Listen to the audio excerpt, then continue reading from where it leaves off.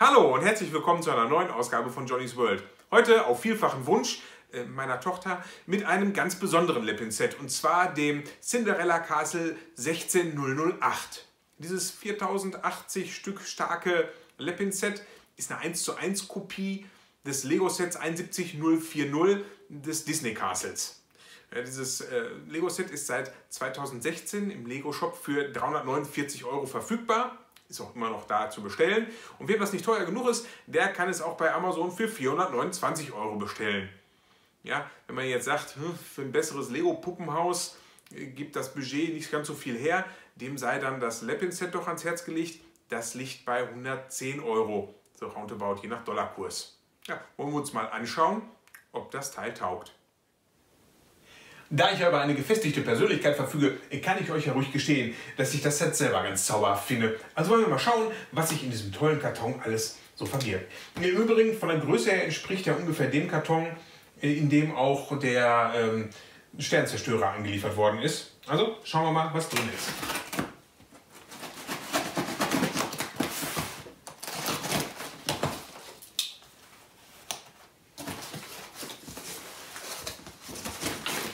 Haben wir zuerst einmal die Bauanleitung in Hochglanz und allerschönsten Farben.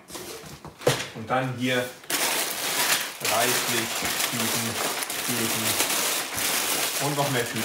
Und hier tolle Accessoires, wie ein Föhn, äh, eine Krone ähm, und äh, noch andere schöne Dinge. Und es nimmt kein Ende. Und es nimmt auch Minifiguren. Sehr schön. Wow, das sind mal eine Menge Steine. Und, oh Wunder und Überraschung, äh, keine der Tüten ist irgendwie Bauschritt nummeriert. Ja, das heißt, ich werde das jetzt wieder alle schön auf meine Tellerchen packen. Aber vorher werfen wir noch mal einen Blick auf die Bauanleitung. Und hier haben wir sie, die Hochglanzbauanleitung. Äh, leider schon mit einem Eselsohr drin, ein bisschen verknickt. Aber nichtsdestotrotz doch sehr schön.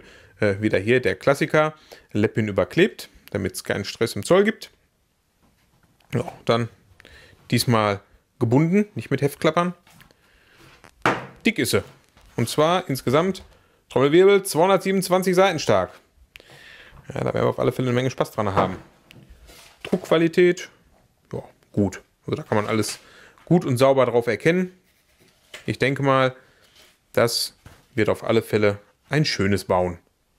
Ja, dann wollen wir mal Ordnung in das Chaos bringen. Nach gut einer Stunde sortieren und auspacken habe ich jetzt hier soweit alles vorbereitet, dass es mit dem Bau losgehen kann.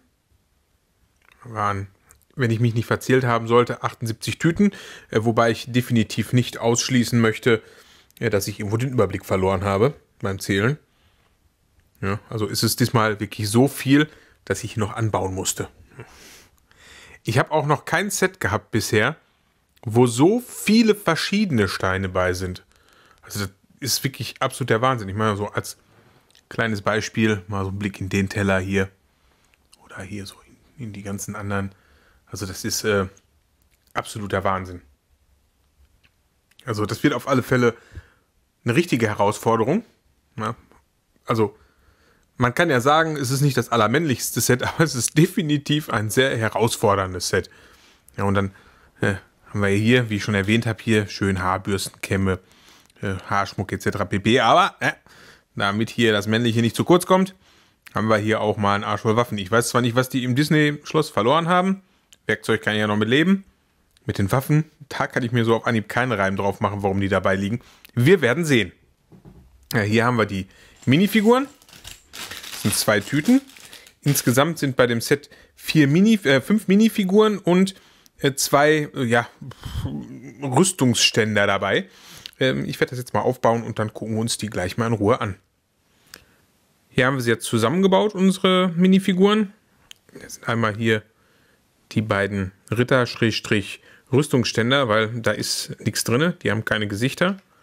Die stehen hinterher nur zu Ziel im, in der, im Schloss rum. Dann haben wir hier Donald. Ist soweit okay. Ja, hat hinten auch schön einen Bürzel dran. Ja, dann auch hier Daisy ist eigentlich ganz gelungen. Auch bei ihr hinten der Pürzel am Popo.